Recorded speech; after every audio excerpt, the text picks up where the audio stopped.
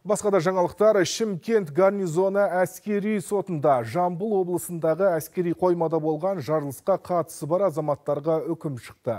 Судья әскери мүлікті қасақана жойды және бүлдірді деген айыппен екі сарбазды 9 жылға бас бостандығынан айырды.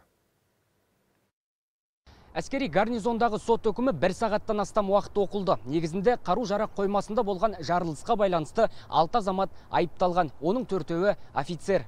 Олардың қатарында әскери бөлім командирі мен орынбасары қойма басшысы да бар. Жоғары шенді әскерилерге қауіпсіздік ережесін бұзды және өз ісіне салғырт қарат деген айып тағылып іс қозғалған болатын. Алайда оларға қатысты айғақ болмағандықтан қылмыстық жауапкершіліктен босатылды. Ал 9 жылға түрмеге тоғытылған екі сарбаздың жасы 20-да. Олардың қару жарақ қоймасына қасақана от қойғаны сот барысында дәлелін тапты. Жалпы жарылыс кезінде 24 миллиард теңгеден астам шығын келген. Бұл қаржы айыпталушылардан өндіріледі қылмыстық кодекстің қырық алтыншы бабы қырық алтыншы бабы бесінші бөліммен екінші тармағына сәйкес сотталушылар тураны салған қылмыстық атқару жүйесін орташа қауіпсіз мекемесінде өтеу белгіленуге жатады.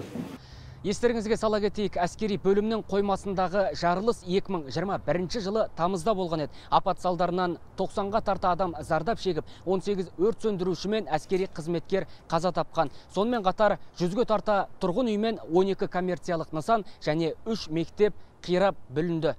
Шымкенттен Нұрсұлтан Мұхамеджан Самат Нағашбекұлы хабар.